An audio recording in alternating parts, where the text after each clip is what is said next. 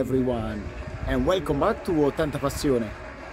I'm just filming from uh, court number two. There is Laiannis voice uh, in the background. And I'm just trying to analyze with you what happened uh, during the two semi-finals.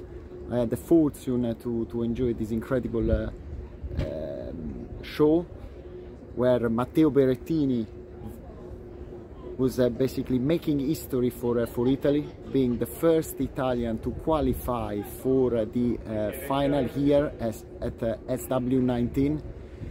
An incredible uh, feeling, an incredible moment. I think Matteo deserves this achievement, and. Um, I wish him all the best for uh, for the final. I know it's gonna be very very tough, but coincidence on the 11th of July, Matteo we play on uh, center court, Italy. We play the final uh, against uh, England. But just you know, let's try to analyze a little bit uh, his match. I think Matteo was uh, fantastic on serve today.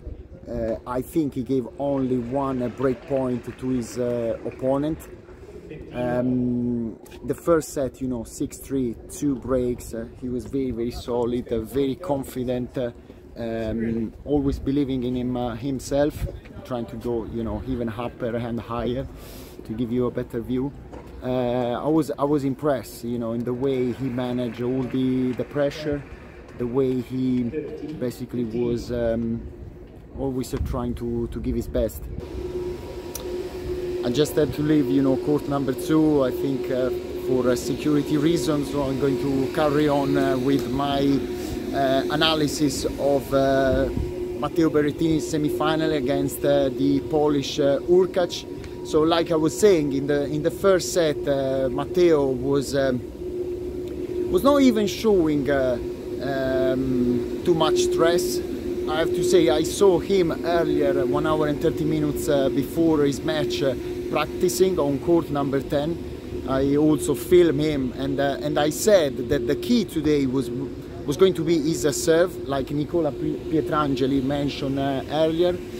Um, I think was uh, was impressive the, the way how he was a focus, he was a serving, uh, his average speed was 125 miles per hour, his fastest serve was 137 and um, he was definitely playing like a, someone who, who is so used to uh, to enter, you know, a semi-final in a Grand Slam. If we consider it was only the second time after US Open in 2019, so Matteo improved so much, in particular uh, uh, mentally. Uh, like I said, I was uh, I was very very impressed from uh, his performance. It's beautiful. you know the All England Club, in particular by the the sunset. Right now it's 5 to 8 p.m. And um, in the second set, he was absolutely perfect. He won with a score of uh, six love, a bagel. Uh, he was, um, you know, trying to uh, keep very positive uh, all the time, looking his corner. I think Santopadre did a fantastic uh, job with uh, with Matteo. And um, in the in the third set, once again, Matteo was playing very very well. Uh, Hurkacz uh, saved basically a match point uh, and uh, he pushed the set to, to the tie break. All center court, of course, wanted to, to see more, and so they were all behind the, the Polish player. But we all know only because uh, uh, it's never enough. people want to enjoy the show as much as they can, not because they were against Matteo. And to be honest, as an Italian, I just thought, okay, why not? Because I was too sure, too confident that Matteo was going to, to win this match. He, he played amazing. Uh, he was uh, there with his um, uh, with his mind, and so all all the best to to him. and in the um, in the fourth set, the, the score was six four. But once once again, Matteo broke very early uh, the Hurkacz and uh, and after I was super super impressed by by his serve he was winning so many uh, games to love. Um, he was um, always doing the right thing. He improved so much with his uh, backhand uh, and as well by by the net. So probably Berrettini is the, the evidence, the proof that if you work hard, uh, you can uh, achieve uh, uh these uh, incredible uh, results. And also, he was quite speechless even at the end um, during his on-court interview, and um, his parents were there in his. Um, in, in one corner, you know, center court, they were quite emotional, and I, you know, the only thing that I can say, Matteo, try to enjoy on Sunday. It's going to be an incredible uh, experience that probably you're going to, to tell your, uh, your children and your uh, grandchildren in the future. I know that uh, it's going to be probably mission impossible, but who knows? Sport is, uh, is beautiful for uh, you know for this reason because on the other side of the net on Sunday is going to play against the world number one the player is probably um, rewriting the history of this uh, this sport. The, the, player who probably is the most complete, or the elite probably is the most complete for sure.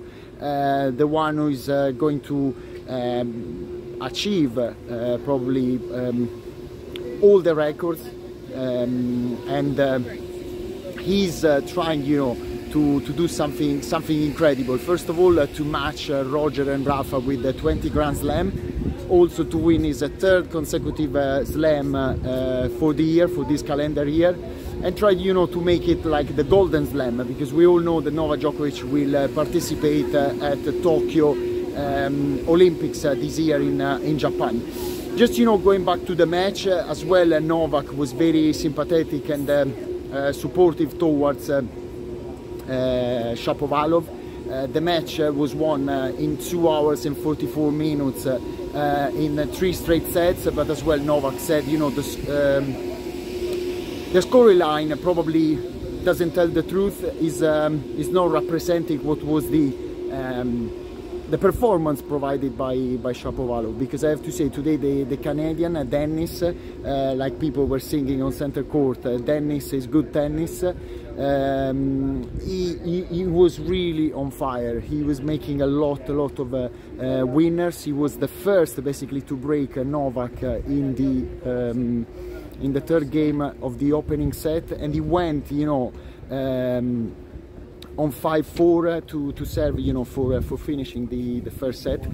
But at that point, uh, Novak, there, there, are a lot of reasons why Novak is so strong, why Novak mentally is, is unbelievable because he played an an amazing uh, game, uh, probably you know showing a, a, wall in front of uh, Shapovalov. So Shapovalov, I think, was broken to, to love in that game, and uh, the set was pushed to the tiebreak. And once again, uh, um, Shapovalov won the first point of the tiebreak with an incredible uh, uh shot, but after uh, Novak was um, absolutely in uh, in control of the of that tiebreak that he won with the score of 7-3. Um, in the second set, again, Shapovalov had, I, I would say, probably seven or eight break points. Uh, all in the early games, uh, a lot of uh, love 40 when Novak was was serving, but because you know tennis is the sport of the devil, like I I keep saying. Um, was Novak in the 11th game to to break basically the, the Canadian, uh, and after uh, he went on serve and he was leading uh, the, the score with two sets to love. Um, the the third set probably Novak was serving even uh, better. Novak was basically winning a lot of games easily to, to love. Uh, in that case was Shapovalov who was uh, fighting uh, much more during his uh, serving games. he started to save uh, a lot of break points, but like a deja vu in the 11th game he was broken. was probably one of the first times during the match that I saw Novak completely um, shouting and trying, you know, to, to involve the crowd that of course was behind the more uh, uh, Shapovalov, only because probably uh, it's quite known that on center court they always support the underdog, they want, you know, matches uh, mm, to, to carry on longer and longer. Uh, but Novak uh, you know won and uh, once again he was the major uh, favorite at the beginning of this uh, tournament to be honest, I don't know what's gonna happen on uh, on Sunday. Like I said, uh, I think probably Matteo needs just to enjoy the the moment, uh, try to um, take the best of it, and eventually try basically to uh, win at least one set against uh, Novak Djokovic because. Like I said, either on the other side of the net there are probably two players against Novak, but right now I can't see how he's going to lose this uh, final. He's um, physically, mentally over the top um, probably, I think also on uh, Sunday, uh, according to the weather forecast, is expecting some rain, so they might play with uh, with the roof closed. Uh, but what can I say? I'm very very proud of uh, Matteo. Mm, he, he did something uh, incredible. The first Italian to to reach the final at SW19 the only problem that on the other uh, side of the net is going to, to play against uh, someone that probably is not almost uh, it's not even human it comes from a different planet and uh, right now I think he's uh, almost uh, unbeatable let's see I hope you enjoy I'm going to release as well uh, the kind of um, video of the best of uh, this day uh, it's always a pleasure to, to come to Wimbledon. it's a fantastic experience. I, I wish all of you, if you haven't done it in in the past to, to try um, and uh, the atmosphere that, that you breathe, that you live in this uh, wonderful uh, place is, um, like Novak said, probably is the, is the most sacred uh, tournament uh, in the world. That's all for today. Enjoy your weekend. it's going to be a very important uh, Italian Sunday here in London. Like they usually say in, in English, we might go from hero to zero. It can be you know all or nothing but for sure it's going to be a Sunday and day to remember 11th of July 2021 that's all for today. Subscribe to my channel leave your comments and uh, remember tennis is a wonderful sport. Ciao.